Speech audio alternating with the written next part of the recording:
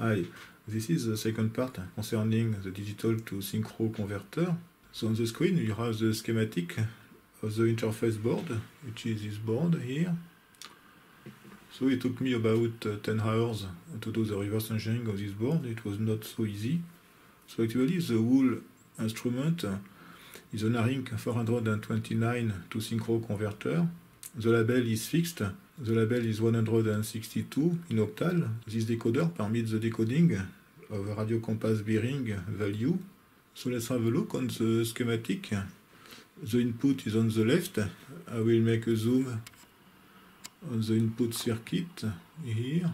The ARINC 429 bus is a serial bus with a return to zero information. So the clock is integrated in the signal itself. There are two differential lines which are present here on the input. The bus is fed to this differential amplifier made with this resistor network. It is this specific resistor network we can see here. So this permits to have a very good common mode rejection. A high level corresponds to a positive pulse and the low level to a negative pulse. So we can find these two comparators here, which permits to have a first clock signal. So these two outputs are connected together. The first comparator permits to detect the positive pulse for the high level bit, and the second comparator permits the detection of the low level bit. And then the signal at the output of the differential amplifier is fed to this integrator. So the integrator permits the reduction of the noise. So the integrator is open here during a given time when the signal is stable. And then the switch permits the reset of the integrating capacitor here. The integration time is defined by this monostable here. I have calculated the time, it is about 16 microseconds. Following the integrator, we have two comparators which permit the extraction of the high-level bit information here and the low-level bit here. These two binary informations are stored into these two D flip-flop here. It is 4013. As you can see, there is a small delay which is performed by this resistor and this capacitor. So this permits to have a valid signal at the input of the comparator before closing the switch at the outputs of these D flip-flops, we have the high-level informations here and the low-level here. So this signal corresponds to the data actually, and the clock is performed by this gate here. This monostable also, so this permits to have a clock signal on this line here. The second part of the schematic on the right here is a serial to parallel converter. The ARINC 429 is a 32 bits bus. So we have for that purpose four 8 bit shift registers here. Actually five, so we will see later why we have another one. So we have different conditions in order to load the data into the shift registers. So we have here an AND gate with five inputs. So we need a high level on each input in order to load the data into the shift registers. The first byte is a label. In order to have a high level here, we need to have a high level on these four lines here and a low level on these five lines.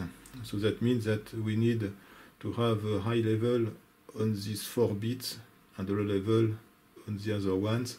So after decoding, we can see that in hexadecimal, it is 72, so this corresponds in octal to the label 162. So it is not possible to change the label on this thing, so it is uh, specialized for the conversion of a radio compass bearing.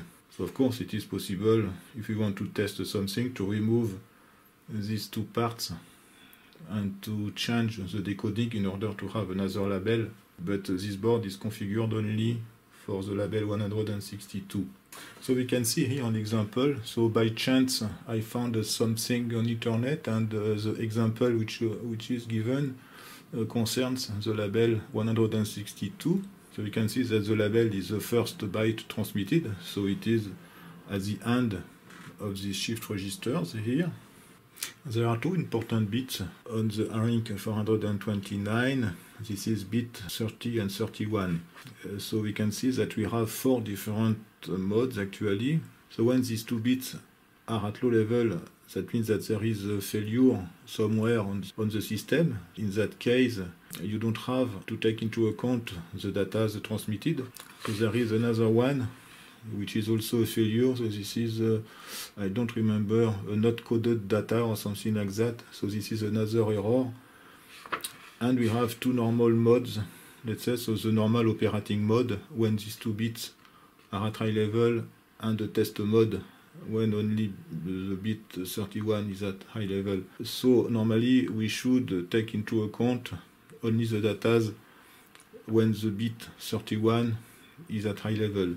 This is why it is not possible to output the same time the data. You can see that these bits uh, share the same shift register than some bits of the data.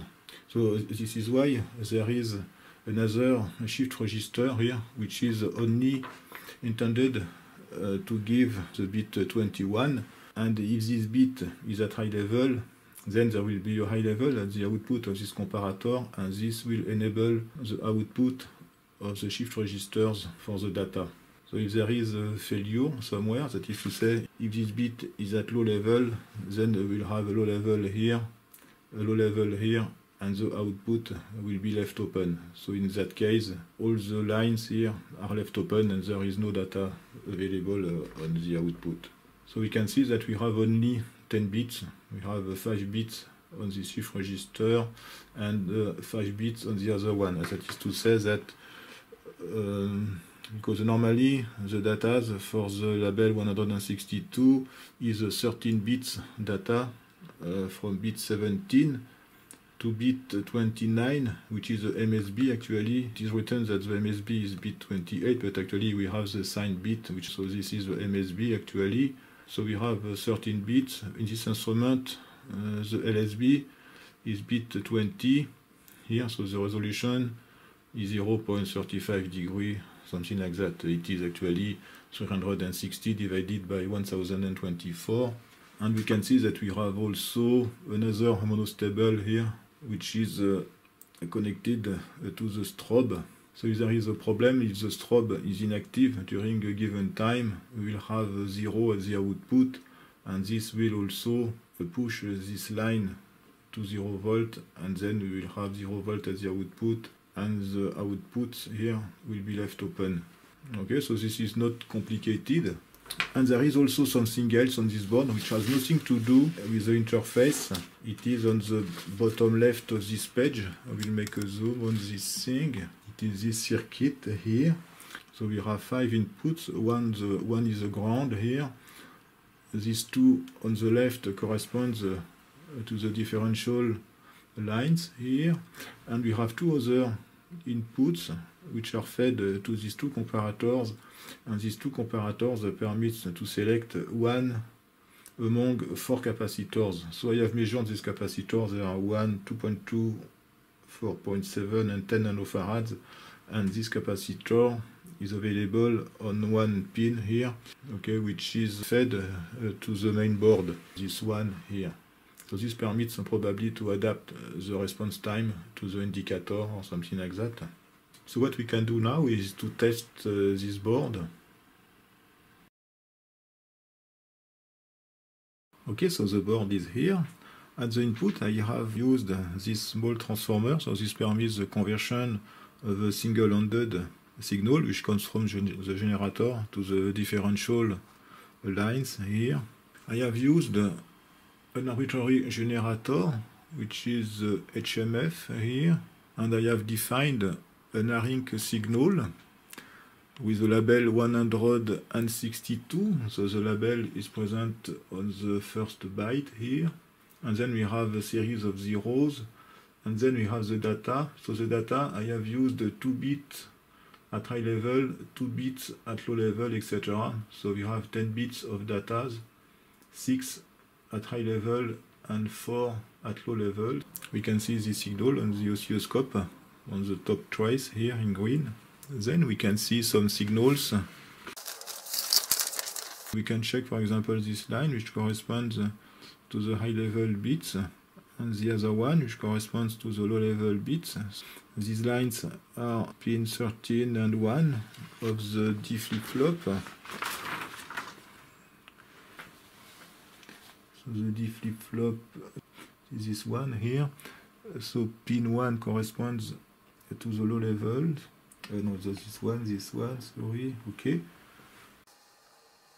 Okay, we can see that this signal is at high level uh, for the low level bits here. And then pin 13 corresponds to the high level bits.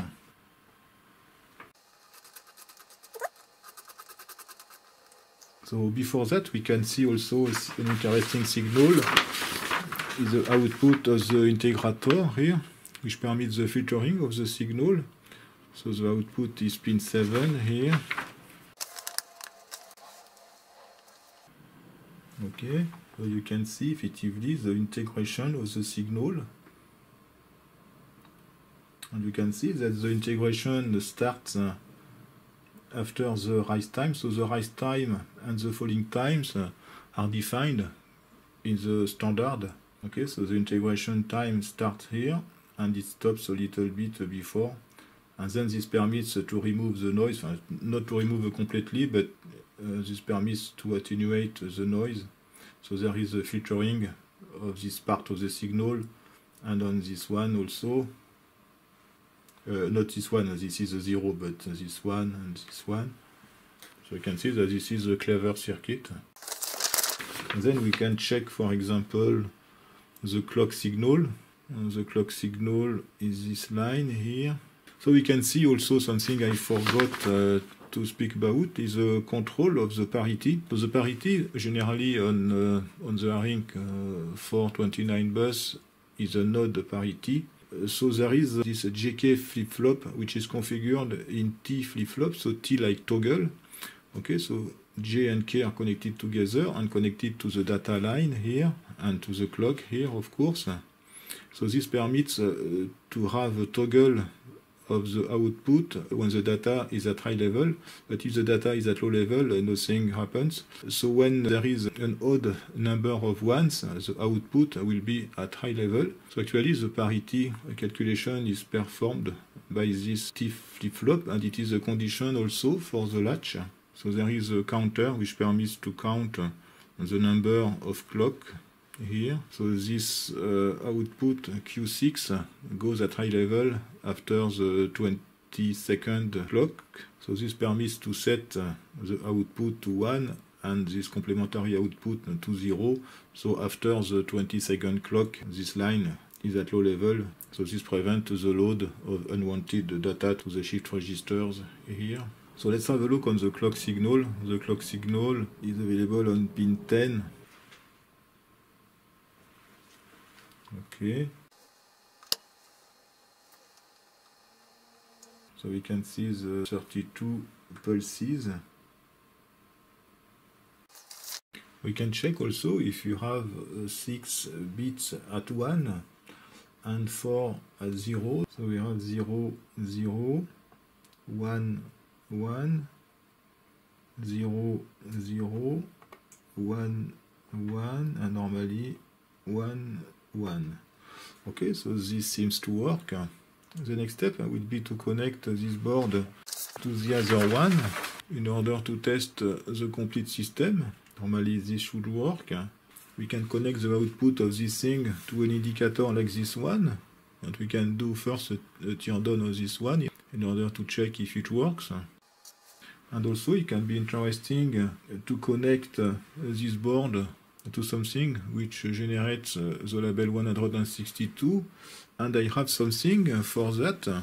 In one of my previous videos I have tested this AirData computer, it was this one, and on this board there is a particular thing which has nothing to do with the AirData, which is a synchro uh, to digital converter. So this is performed by this uh, IC here, an RDC 19222 So it is possible to connect a synchro transmitter uh, to this connector. And if you look at my video, there was effectively a label 162 which is transmitted through the ARINC 429 bus.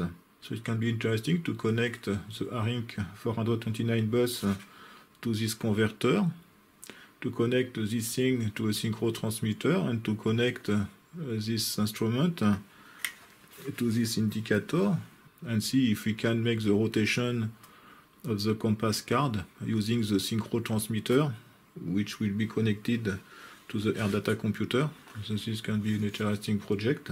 So this will be done in a future video if I find the time to do this. Anyway, thanks for watching and see you next time. Bye bye.